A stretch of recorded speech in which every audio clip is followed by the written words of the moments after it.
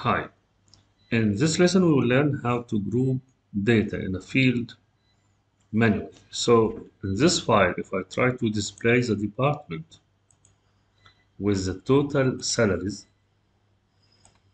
this file we have about 23 departments.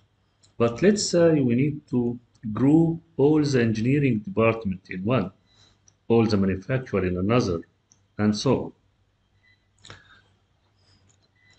There's many ways you can do the same, but one of the easiest way is just right click the field and go to new group.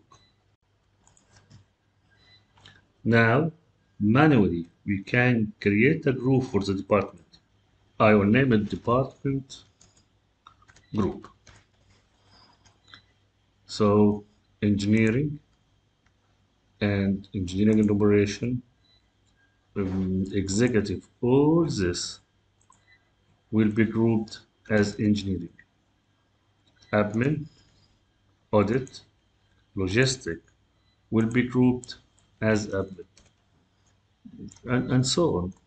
Once you hit OK, now we have one more field in our model that we can use in the visual. So instead of the department in this table, I'm going to use department group.